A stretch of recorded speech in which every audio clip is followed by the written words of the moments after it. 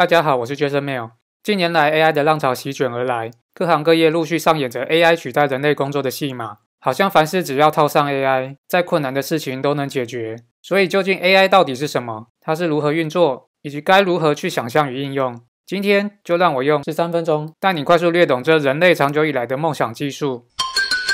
——AI。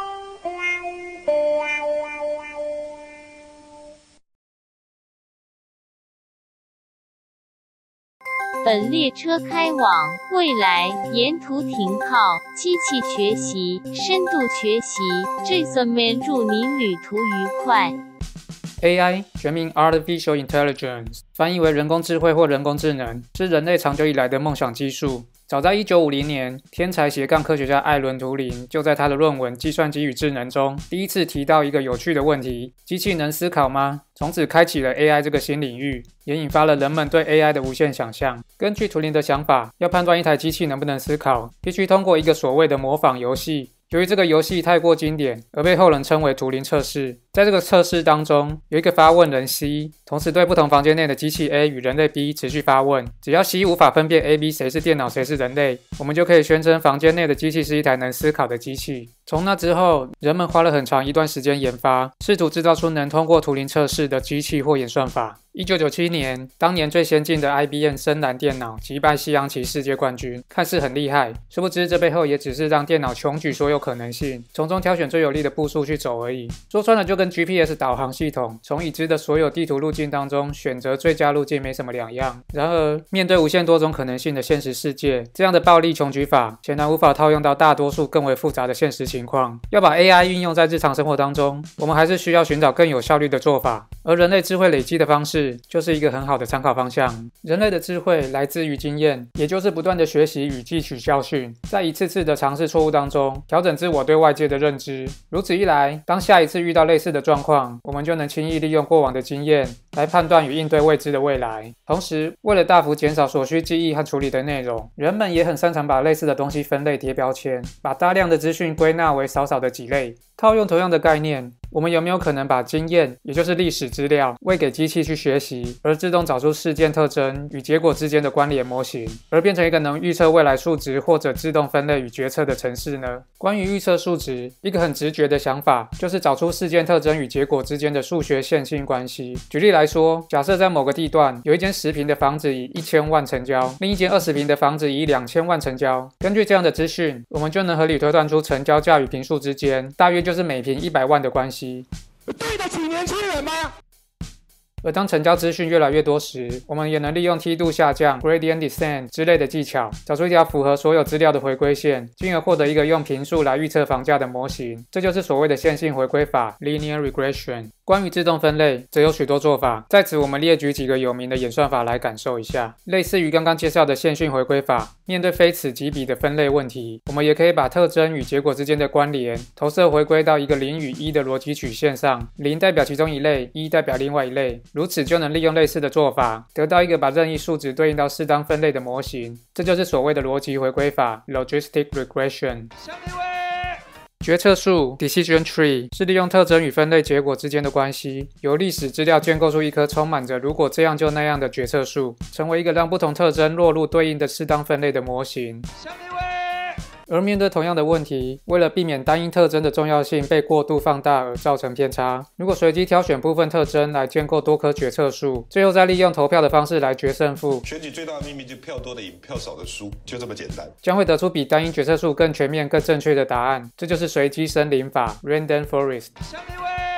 类似的概念更进一步，如果策略性逐步建构多颗决策树模型，间接让重要的特征占有更多权重，得到准确度更高的决策树森林，则是梯度提升法 （Gradient Boosted Decision Tree） 或简称 GBDT。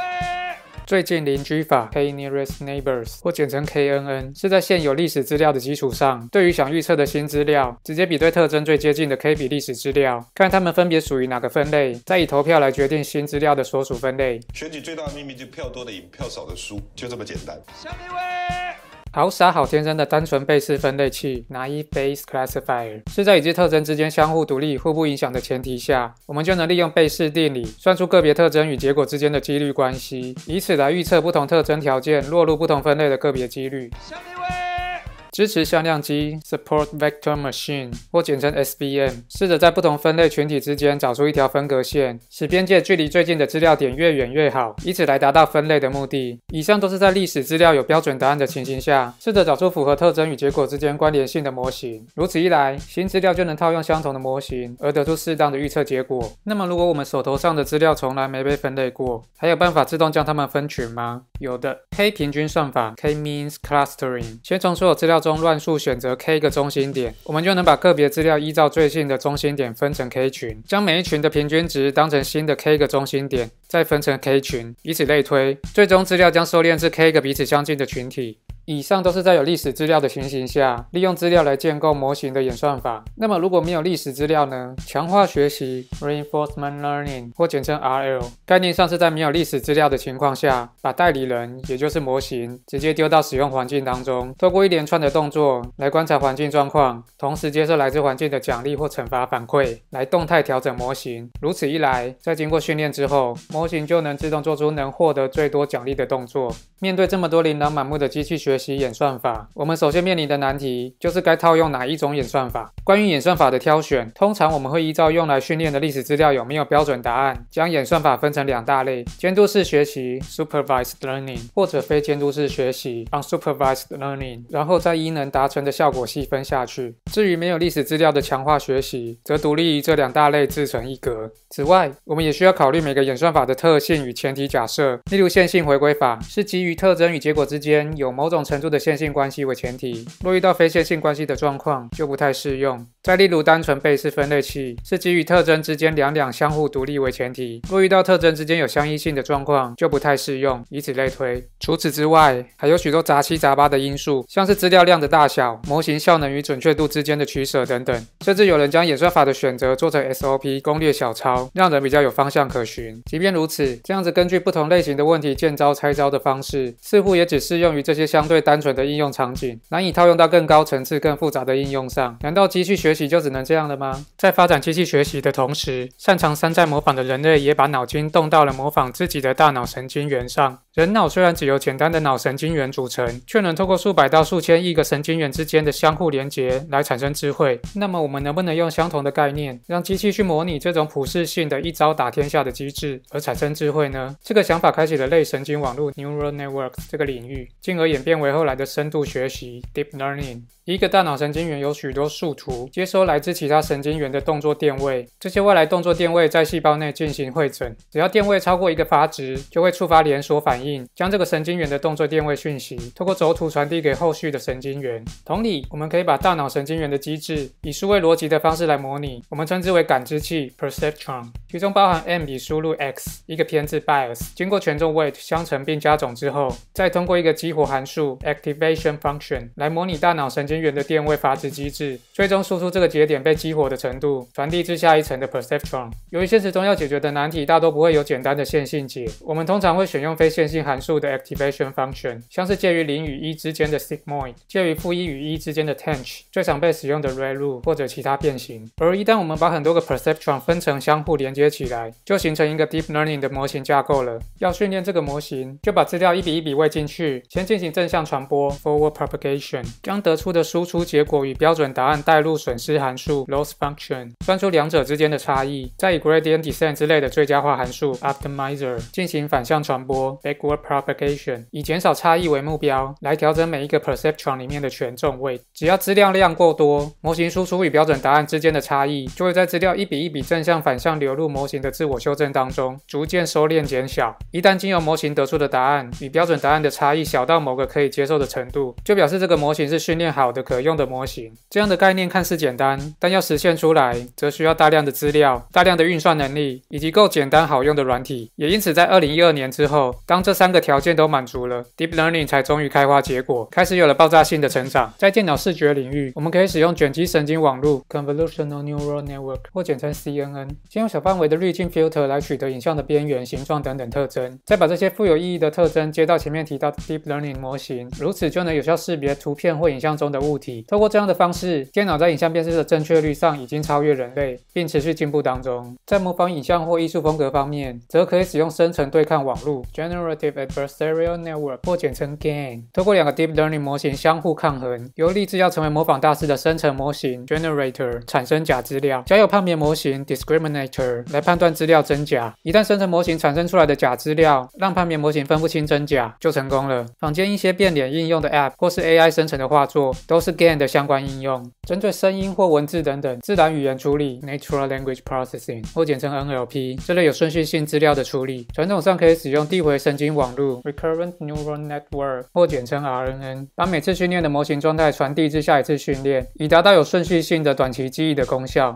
进阶版本的长短期记忆神经网络 （Long Short-Term Memory） 或简称 LSTM，则用于改善 RNN 的长期记忆递减效应。针对类似的问题，后来有人提出另一套更有效率的解法，称为 Transformer。概念上是使用注意力 （Attention） 的机制，让模型直接针对重点部分进行处理。这样的机制不只适用于自然语言处理，它用在电脑视觉领域上也有不错的成果。二零二零年，拥有一百七十五 B 连模型参数的超巨大模型 GPT-3，已经能做到自动生成文章与程式码或回答问题，品质甚至还不输人类。未来，随着模型参数个数在持续指数型成长，这类模型的实际应用成效更是令人期待。而除了前面说的电脑视觉与自然语言处理这两大领域之外，Deep Learning 在各领域也都有很惊人的成果。二零一七年，在不可能暴力穷举的围棋领域中，结合 Deep Learning 与 Reinforcement Learning 的 AlphaGo，以三比零击败世界第一围棋士柯洁，震惊全世界，等同宣告 AI 已经能透过快速自我学习，在特定领域超越人类数千年以来的智慧累积。二零二零年，AlphaGo 的研发团队 DeepMind 再度运用 Deep Learning，破解了困扰着生物学五十年的蛋白质分子折叠问题。这将更实际地帮助人类理解疾病机制，促进新药开发，帮助农业生产，进而运用蛋白质来改善地球生态环境。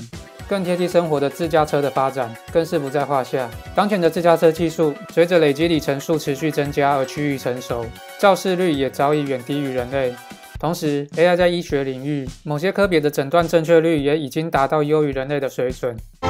医者は神様じゃない人間だからだ